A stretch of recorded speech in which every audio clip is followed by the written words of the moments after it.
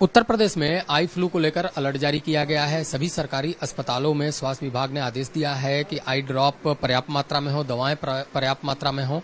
Civil hospital में भी तमाम लोग आ रहे हैं जो कहीं न कहीं कंजेक्टिवाइटिस के शिकार हैं। वो अपने आँखों का उपचार कर रहे हैं। हमारे साथ आई सर्जन हैं डॉक्टर एस के तिवारी, उनसे हम बात करते हैं। सर कितना मामला बड़ा है? क्योंकि मौसम बदल रहा है, आई फ्लू लगातार यस, मौसम बदलने के बाद ये आँख की बीमारी जिसे लाल आँख आ जाना या आई, फ्लू या हमारी भाषा में कंजंक्टिवाइटिस जो सफ़ेद झिल्ली होती है, वो लाल हो जाती है, उसको कंजंक्टिवाइटिस ये बीमारी के केसेस काफ़ी आ रहे हैं। आज का ही अगर हम बताएँ तो 70 मरीजों में 30-35 मरीज़ केवल कंजंक्टिवाइटिस के थे।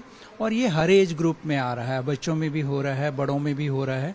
क्योंकि अगर ये किसी एक घर में होता है तो लगभग घर के सभी सदस्य प्रभावित हो जाते हैं। और ये छुआछूत का एक तरह से बीमारी है। अगर आँसू, जिसके कंजंक्टिवाइटिस है, उसका आँसू किसी भी प्रकार से, रुमाल से, तौलिया से, हाथ से, आपके दूसरे व्यक्ति को चला गया तो उसकी भी आँखें लाल होने लगती हैं। और इसमें विशेष रूप से प्रॉब्लम ये होती है कि आँख काफ़ी लाल हो जाती है, करकराहट महसूस होती है, पानी बहुत आता है, और धूप में या टॉर्च की रोशनी में या रोशनी में चमक बहुत लगती है। इसलिए आपने देखा होगा, बहुत सारे लोग काला चश्मा लगा के घूमते हैं। उससे बचाव नहीं होता, लेकिन हाँ ये आराम मिल जाता है कि धूप में आँख खुलती है।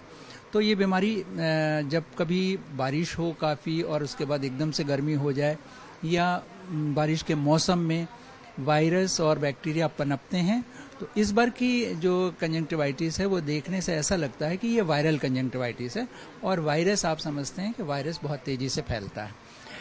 लखनऊ में चूँकि बाढ़ का कोई ऐसा प्रकोप नहीं था, इसलिए यहाँ उतनी संख्या में नहीं है जितनी दिल्ली या एनसीआर के एरिया में है, जहाँ की बहुत ज़्यादा बाढ़ का पानी घरों में भर गया और जगहों में भर गया। तो कंजंक्टिवाइटिस या आई फ्लू के साथ साथ और भी बीमारियाँ वहाँ काफ़ी रही हैं। तो साफ़ है कि आँखों का बीमारी को लेकर तमाम जो संख्या है वो बढ़ती हुई जा रही है और इसी को लेकर लगातार डॉक्टर जो हैं अलर्ट कर रहे हैं और उत्तर प्रदेश में भी स्वास्थ्य विभाग ने फ़िलहाल सभी सरकारी और निजी अस्पतालों में अलर्ट जारी कर दिया है। कैमरामैन राहुल के साथ अवनीश कुमार, भारत एक्सप्रेस, लखनऊ।